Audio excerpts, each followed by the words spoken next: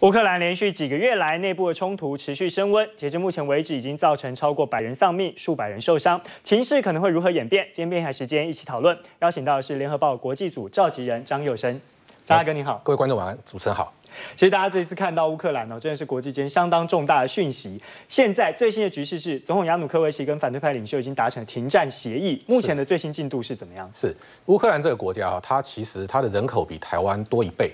那么它的面积比台湾，它它的面积是六十万平方公里，等于是算是一个相当一个算是地很广的人人比较少的一个地方。那么就在他们当地时间的中午十二点，也就是跟我们它的时差比我们慢六个小时，就是我们刚才的晚上六点的时候呢，就是已经说是他们总统府出来宣布说达成了一个停战的协议。是那但是这个要值得注意，就是说因为当时参与谈判的包含了。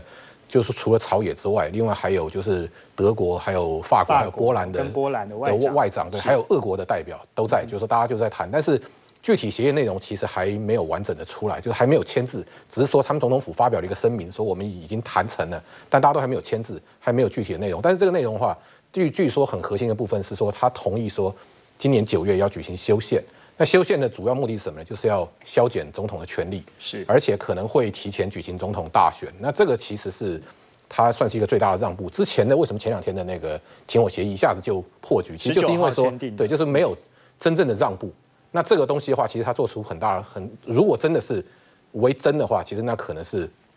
一个很大突破。而且就在他们谈判的时候呢，其实那个国会已经开始在打在在打架了，因为这个亲这个雅努科维奇的国会议长。他又是本来就是大家开开开会说要讨论说可能要这个讨论说是不是要削减总统的权力的这个这个修宪案的部分，结果这个